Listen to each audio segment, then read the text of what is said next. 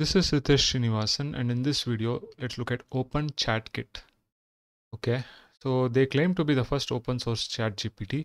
Basically I'm a little bit late to make this video. So after this there have been a lot of models coming out uh, which claim to be open source. Uh, but the idea over here is that uh, they want to provide a powerful open source base to create both specialized and general purpose chatbots for various applications they have collaborated with LAION and Ontocord to create the training dataset. Uh, it is the start of an open source project. They have released set of tools for continuous improvement and contributions. Uh, this is the online playground page for Open Chat Kit. So you can try and give feedback over here. Okay. So what is Open Chat Kit? It is an instruction tuned large language model it's 20 billion parameter model fine-tuned for chat from Eleuther AI's GPT Neo X with over 43 million instructions. It can perform various natural language tasks like um, you know dialogue, question answering, classification, extraction, and summarization. It is being trained on the OIG 43 million dataset created by Together, LAION, and Ontocord. It can be also used as an extensible retrieval system.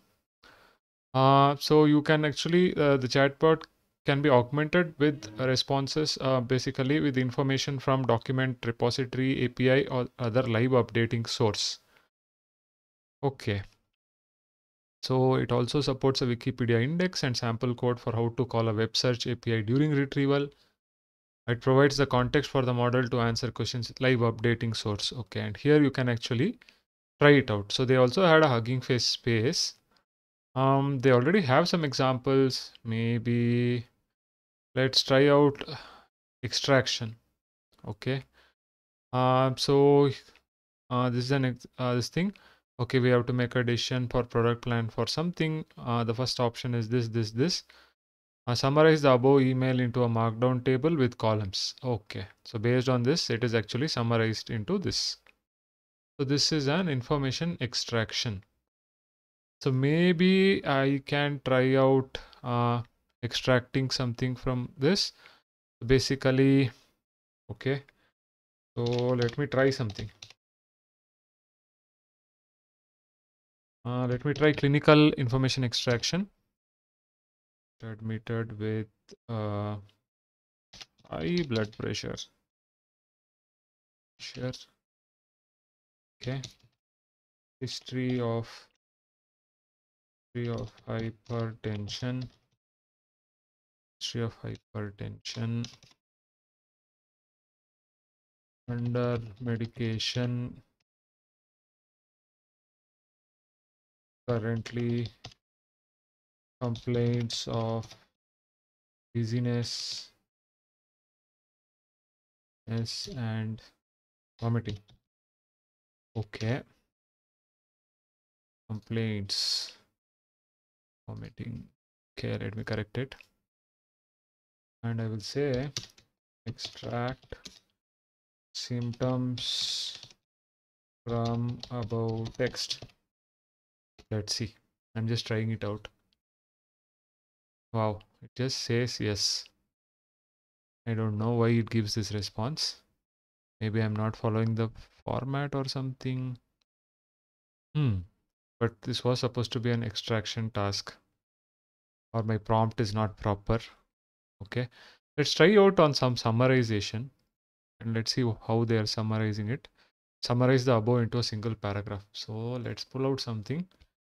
Let's pull out, okay, something from Wikipedia. Where is Wikipedia? Clinic. Ah, okay. Hmm. Let's pull out this paragraph. Okay, and maybe up to here. Let's try out this. To here. And uh, let's copy this. And let's say Ah, uh, summarize ah. Okay it gives the question what are the causes of high blood pressure. Actually i wanted to summarize it. Let's say summarize the above paragraph. And let's see what happens. I've actually sent it. Seeing any response. Ah okay lifestyle changes and medication can lower blood pressure and decrease the risk of this thing. Lifestyle changes include this. If lifestyle changes are not sufficient then blood pressure medications are used. Yeah up to three medications can be concurrently taken. So it kind of summarizes this. But it could also summarize as what is blood pressure what is hypertension but somehow it has missed that. It has generated a summary. So you can actually provide feedback whether you like the summary or whether you want to give it for improvement right? So maybe i will give an improvement over here. So it says thanks for your feedback. Help me improve. You could provide more details over here. So i click on that. And I can say that yeah factually incorrect harmful inappropriate use. I will say mm, others. And I will say that my question was this. It kind of pulls out the text. Okay help us stop by what correct response should have been. Uh, chatbot should explain what is hypertension. Is hypertension in summary uh, it misses out on important important points in summary so in this way you can actually submit responses and you can help them improve it i'm actually satisfied with the way uh, you know this feedback kit is there but i just tried some use cases over here they have lots of examples over here for example, sentiment analysis, classifying uh, the following uh, sentiment of following sentence into positive, neutral or negative. What happens if I copy this and try out? Give the same response, right? Let's see. Positive, yeah. That is actually given this thing. Maybe I will copy this. Let me try my own example over here. Let me say that it's raining in Bengaluru. What a relief.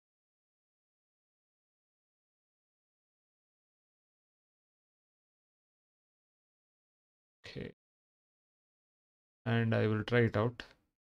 Let's see what comes out over here. Positive.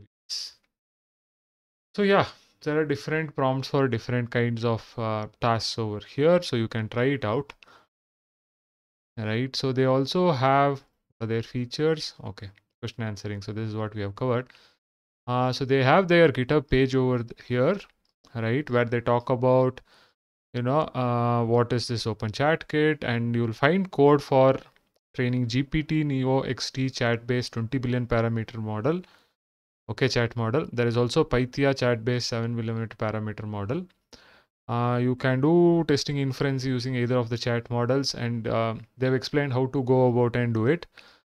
Mm, I think there are some hardware requirements also. I don't see that over here. Okay, but depending upon the model size, the hardware requirements will be present, right? You probably require GPU and other things. Okay, so you can go over here and try it out, right? Uh, yes. So this is about Open Chat Kit. Uh, so they claim to be open source. It makes use of open source models. The more it becomes better, it could become a better competitor to OpenAI ChatGPT.